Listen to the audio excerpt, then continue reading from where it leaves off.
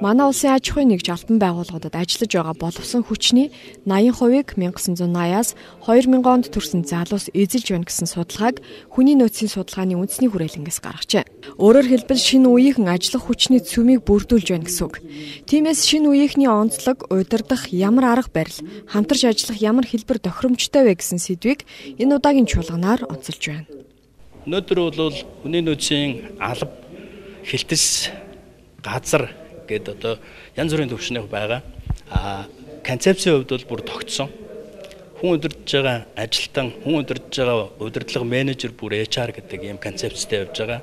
Тэгээд дээр нь болохоор хүний нөөцийн удирдлага өөрөө байгууллагын бизнесийн одоо түншийн зарчмаар явж байгаа.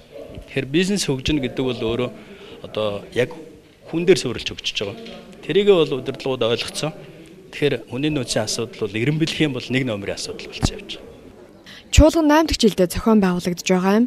Энэ 8 удаагийн чуулганд Голомт банк бүгдд нь хамтран зохион байгуулагчаар оролцож иржээ. Манай улсын банкны салбарт ойролцоогоор 15 мянган хүн ажилладаг. Үүний 2 мянган Голомт банкнд ажиллаж байгаа юм. Энэ үзүүлэлтээр Голомт банк салбартаа 2 дахь том ажил олгогч болдог юм байна. Энэ ч утгаараа тус банк хүний нөөцийг чадахжуулах, шин төвшөнд гаргахад ач холбогдол өгсөр иржээ. Яагаад энд ороод байна вэ гэхээр бид нар түрүү хэлсэн. Одоо бид нар маш их ярьдаг Монгол улс 3 сая хүнтэй цөөхүүлээ тэгвэл цөөхүүлээ юм бол илүү их ажиллах хэрэгтэй байх. Цөөхүүлээ юм бол илүү өндөр бүтээмжтэй байх хэрэгтэй. Цөөхүүлээ юм бол нэг хүн илүү ихийг л хийж чаддаг байх хэрэгтэй. Тэгэхээр энэ лөө манай хүний нөөцийн одоо мэрэгчлэнүүд анхаарлаа төвлөрөх хэрэгтэй байвал илүү өндөр бүтээмжтэй хүмүүсийг бэлдэх, илүү өндөр авиас чадварыг одоо бий болгож сургаж өгчүүлэх.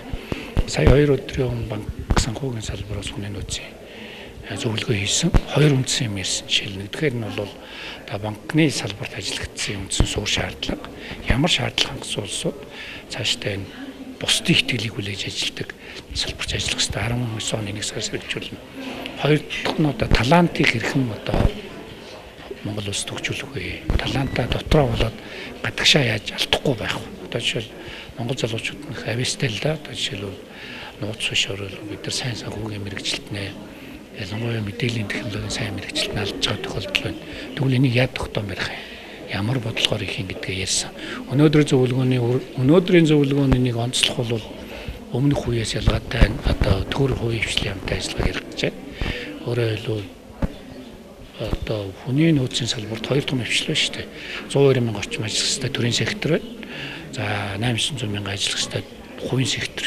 Энэ хоёр нийлж иж энэ улсын хөгжлийг авч явах хүмүүсийг одоо мэрэгчлэтнүүдийг хөгжүүлэх юмаа гэдэг санааг өнөөдөр ярина. За энэ бүх үндэслэл бол бидний энэ чуулганыг ивент чагаа хамтарч оролцож байгаа гол гол шалтгаан. Хүний нөөцийн мэрэгчлэтнүүдийн энэ удаагийн чуулганд 800 орчим хүн оролцлоо. Тэр дундаа төрийн бүх яамд агентлагийн хүний нөөцийн менежер, удирдлагууд энэ удаагийн чуулганд оролцсон байна. 2014 онд засгийн газар тогтоол гаргаж жил бүрийн 10 дугаар сарын 15-ны өдрийг хүний нөөцийн ажилтнуудын өдөр болгосон юм.